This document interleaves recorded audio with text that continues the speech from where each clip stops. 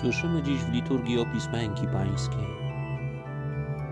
Chciałbym zwrócić Waszą uwagę na jedno krótkie zdanie, które odnotowuje w swojej Ewangelii święty Łukasz.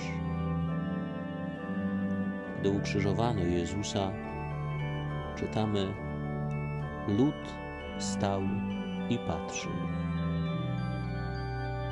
Taka jest postawa ludzi będących na Golgocie. Stoją i patrzą. Jest to dla nich jedynie widowisko, jakiś teatr. Dopiero krzyczeli precz, na krzyż z nim, ukrzyżuj go, nie chcemy tego króla, nie tego, lecz Barabasza. Teraz stoją i patrzą.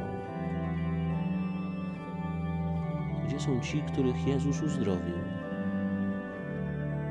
A gdzie są ci, którym Jezus dopomógł?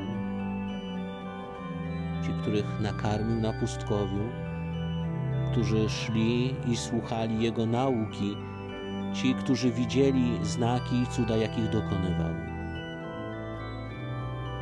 Stoją i patrzą.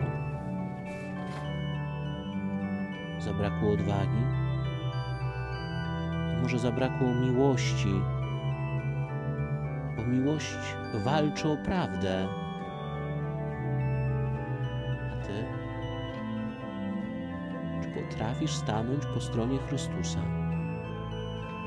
Czy potrafisz przyznać się do Niego w każdej chwili swojego życia?